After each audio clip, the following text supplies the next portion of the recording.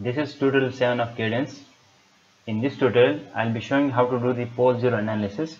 So for pole 0 analysis, we have to replace the pin here by voltage source at input. Now I will launch ADL. So ground I will give 0 line another DC 8 also okay. Now here I will define the pole 0 analysis. First I will do DC I will save it DC analysis then pole 0 now here this output I will take I will take. Can be voltage or probe. Like current probe is here. Here you will do for uh, stability analysis I will show there. So positive output node I will select the positive output that is this one. So since this is single stage only one pole and one zero will be there. Negative output is ground and input source voltage or current we can choose. So I have chosen here voltage slab this one. Okay. So now I'll run it.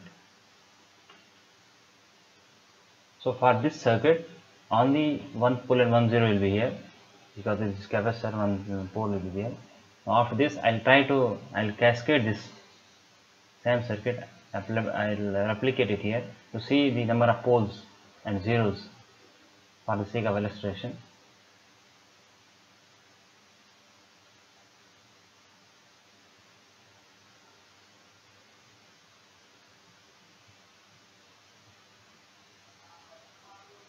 okay now as you can see also here it is showing.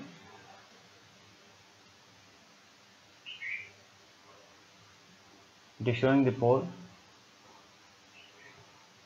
coordinates and zero coordinates. So there is only pole uh, 1 and 0 I can also plot them.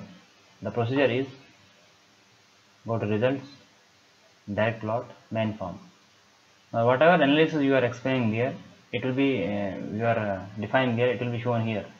Since here is only pole 0 I defined if I'm uh, defining AC analysis here, so I can do this thing also here. I can click AC and other stuff. So pole 0 this thing and I'll plot it. This frequency I can define also. So this is a pole 0 plot of our single stage amplifier. This is pole and this is 0 now if I want to show this on Smith chart so the procedure is go to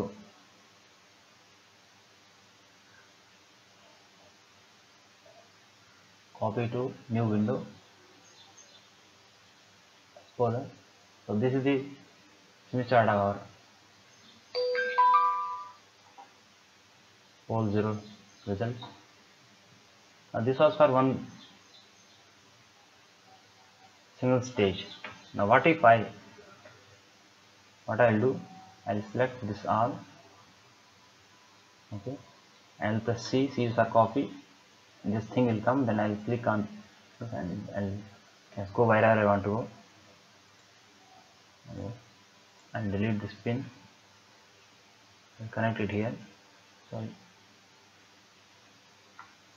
connect it here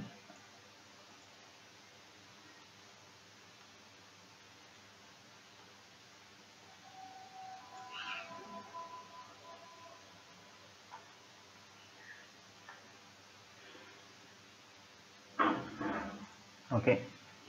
So let's see for this one. Again I will save it and go to this window. And now the output port is node is changed. So select again. Anyway the output name is here. Okay. Okay. I'll run it